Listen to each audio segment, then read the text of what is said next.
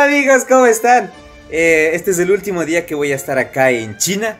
Y bueno, pues eh, me da mucha pena eh, regresar. He estado muy enseñado aquí. ha sido un poquito complicado adaptarme a la, a la comida, ya que existe un sinfín de platos acá en China. como me comentaba un amigo acá en China, que si probáramos un plato diferente todos los días, tardaríamos 10 años en probar todas las variedades de comida que existen acá en China. Entonces, eh, prácticamente eh, la gastronomía es muy extensa, muy extensa. he probado algunos platos típicos y ha sido un poquito complicado adaptarme, ya que hay cosas que nunca he probado y y bueno, pues mi estómago también eh, estado presto a, estas nuevas experiencias, así que bueno, pues eh, me ha costado acostumbrarme, pero eh, la experiencia es muy bonita, es muy bonita. si tienen la oportunidad de visitar China, 100% recomendado. la he pasado muy bien, he venido poco tiempo, pero ha sido suficiente como para enseñarme en este lugar, como para quererlo bastante. Entonces, bueno, pues amigos, este es el último día, estoy acá en el hotel. Eh, pueden ver el hotel. Em, este es un hotel bien chévere, tengo una vista... Eh, bueno, la vista es agradable. Eh, no estoy tan alto, pero, pero es muy bonita. El día de hoy salgo a, hasta el aeropuerto de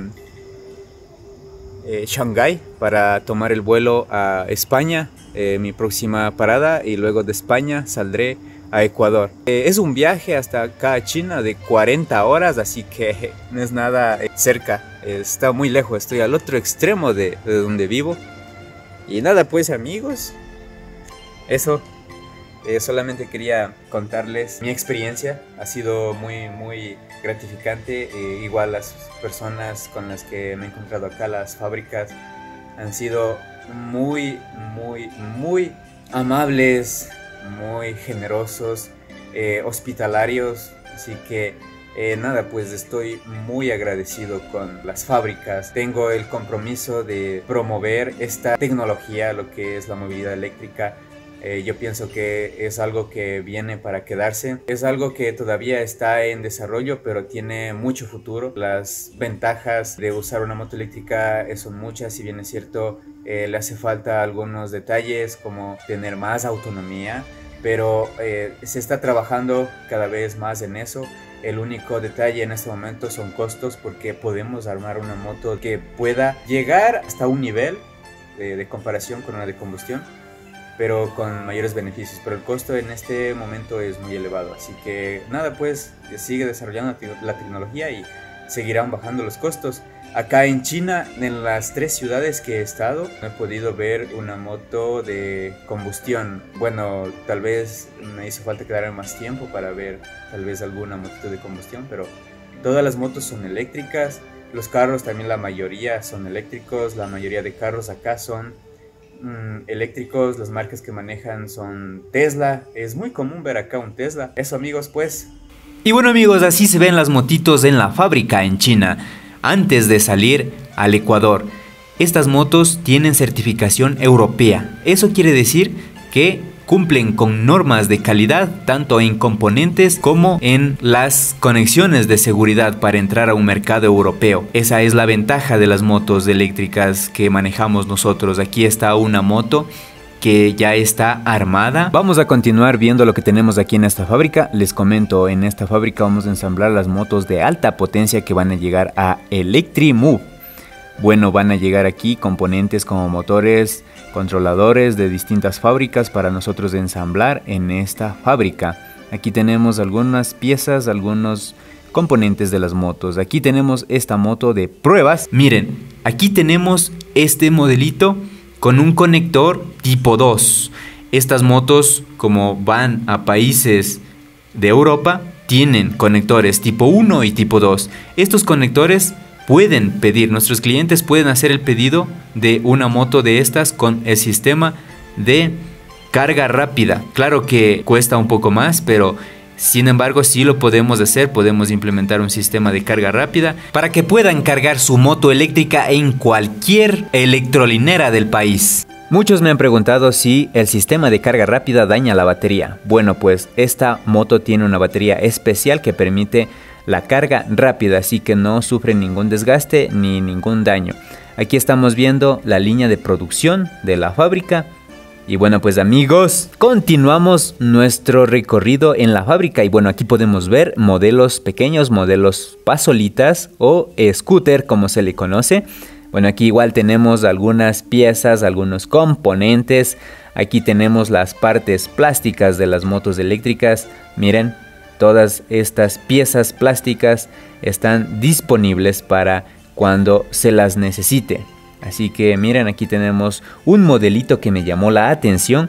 Este modelito es muy cómodo. Están desarrollando, haciendo pruebas en este nuevo modelo. Así que próximamente estaremos presentando un modelo similar a este en Electrimove.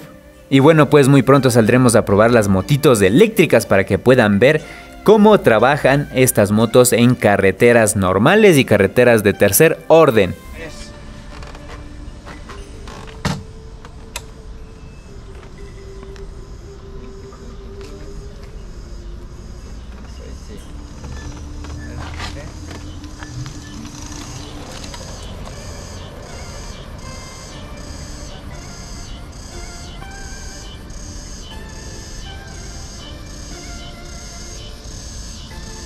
Vamos a ver. ¡Ay! Primer hueco. Joder, estamos acá en China probando la, moto y eh, nos han prestado la moto para hacer una prueba y estamos en un camino un poco complicado, pueden ver. ¡Ay, pucha! Está un poquito complicado el, el camino, tenemos huequitos hemos venido a una parte donde tienen huecos para probar las motos ya que eh, acá eh, en la fábrica no había un lugar cerca para poder probar así que hemos venido para acá. Y bueno pues ahí estamos probando la suspensión de la moto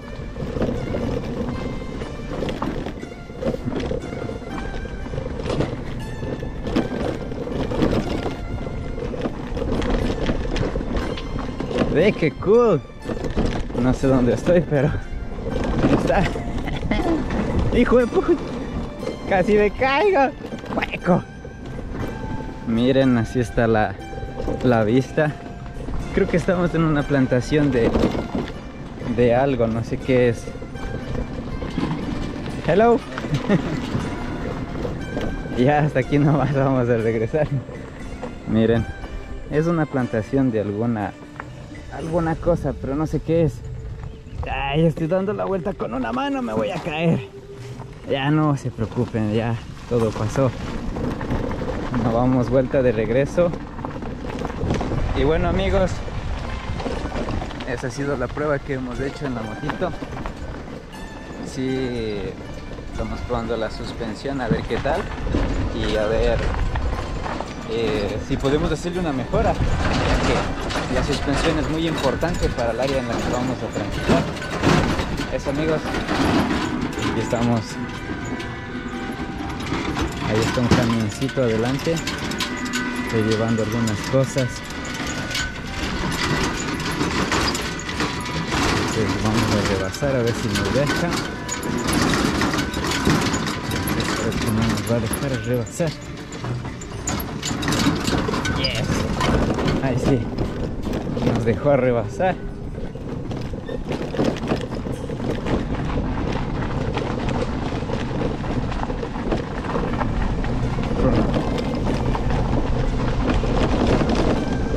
Ay. Entonces, esos muchachos, creo que estoy frenando con la, la delantera si no me equivoco. Prueba en la motito, en la motito. Hijo de puta.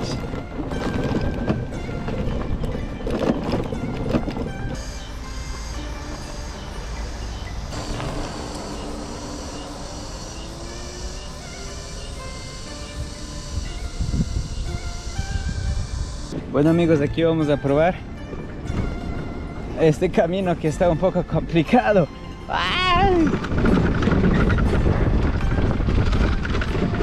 Hijo de pucha. Ay, aquí sí está un poco complicado la carretera. Tiene muchos huecos.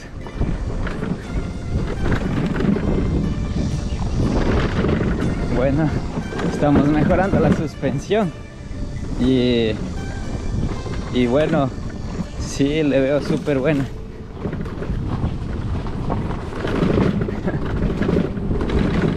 Eso, ahí viene un carro. Hey. Hello. Ah. Es bien complicada esta carretera. Ok, ok. Si tiene retro. Bueno, casi me caigo. No, vamos probando. Joder, tiene.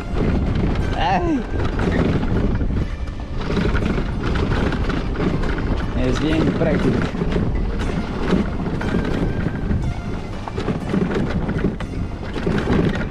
Wuxi, wuxi.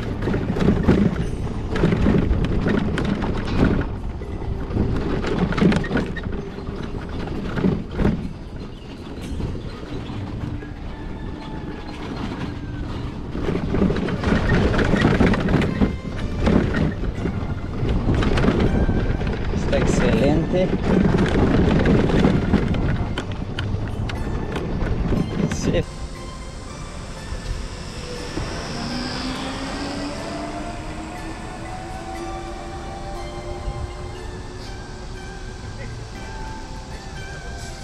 Es excelente. Es buenísima, acelera mucho. Tiene más salida que las otras.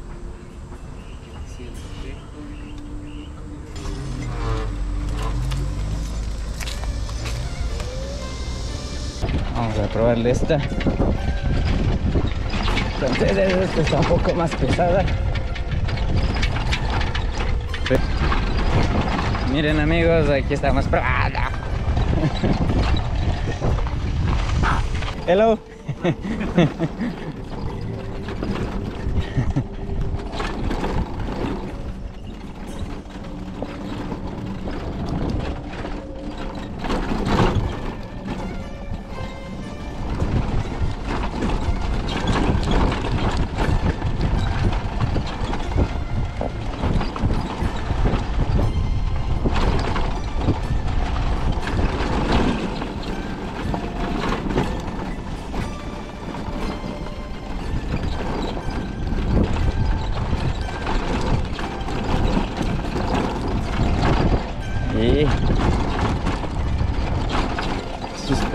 is better.